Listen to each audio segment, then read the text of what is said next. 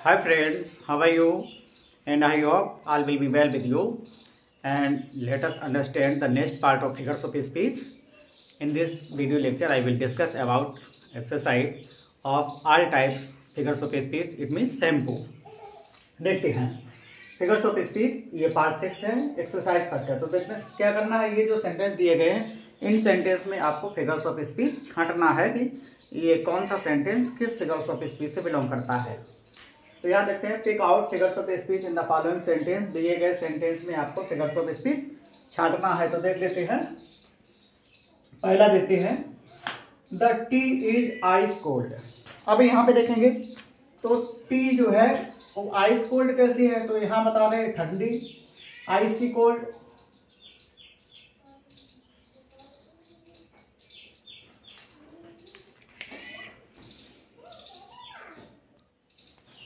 तो यहाँ पे देखेंगे तो टी इज़ आइस कोल्ड तो यहाँ पे हो जाएगा मेटाफर हाँ। अगला है मेमोरी इज़ लाइक पर्स तो मेमोरी क्या है? Memory is like a purse तो यहाँ पे लाइक शब्द मिल गया है। यहाँ पे हो जाएगा आपका सिमली ये हो जाएगा सिमली क्योंकि लाइक एज शो का प्रयोग सिमली में होता है। और यहाँ पे दटी इज़ आइस कोल्ड जो है वो मेटाफर है। ऐसी ठंडी थी जैसे बर्फ़ थी तो लाइक एज शो का प्रयोग नहीं किया गया है तो इस प्रकार से ये हो जाएगा आपका मेटाफर थर्ड देखते हैं। ही इज़ आइडली बिज़ी अब आप देखेंगे दो अपोजिट आइडिया यहाँ पे मिल रहे हैं। तो ये हो जाएगा ऑक्सीमोरन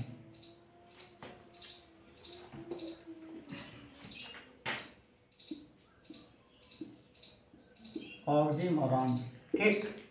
यहाँ पे आइडली और बिज़ी आइडली मतलब निठल्ला, कर्महीन, यहाँ बिज़ी बता रहा है। तो यहाँ पे two opposite idea are getting है ना?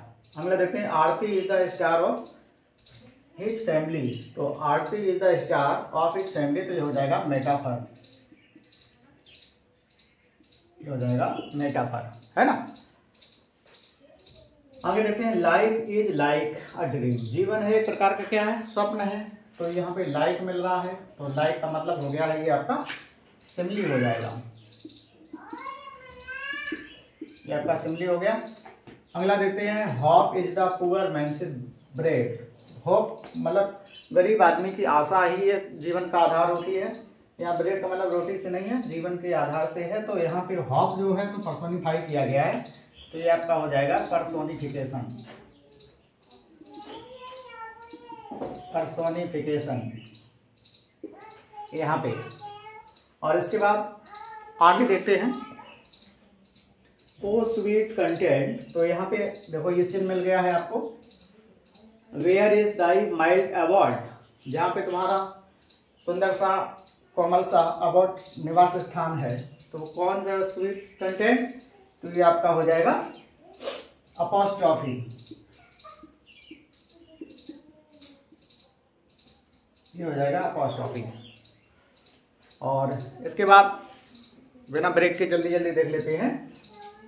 लव इज़ ब्लाइंड प्यार जो है वो अंधा होता है तो ये हो जाएगा पर्सोनिफिकेशन यहाँ पे हो जाएगा पर्सोनिफिकेशन है। ना क्योंकि लव को यहाँ पर्सोनिफाई किया गया है, बताया गया है कि प्यार जो है वो अंधा होता है है ना? आगे देखते हैं द रेड्स आर स्पीकिंग जो चूहे हैं, वो चहचा रहे हैं। तो यहाँ पे ये साउंड है तो हो जाएगा ओनो मैटो या ध्वन सूचक फिगर्स ऑफ़ स्पीच हो जाएगा। और लास्ट देखते हैं आई सी या लिली ऑन दाई ब्रो तो यहाँ पे आई सी या लिली आई सी या लिली ऑन दाई ब्रो का मतलब हो जाएगा। ये आपका जाएगा। आई सी में देखता हूँ लिली एक लिली को ऑन द ब्रो तुम्हारे भाव पे, ठीक है? तो लिली के भाग तो यहाँ पे लाइक एस का प्रयोग नहीं किया गया है तो ये हो जाएगा आपका मेटाफर ये आपका हो जाएगा मेटाफर क्लियर तो आज के ये टेन सेंटेंस कैसे लगे आपको कमेंट बॉक्स में ज़रूर बताएँ।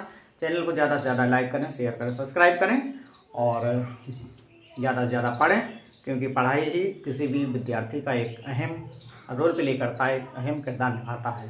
थैंक यू वेरी मच आपका दिन मंगलमय हो।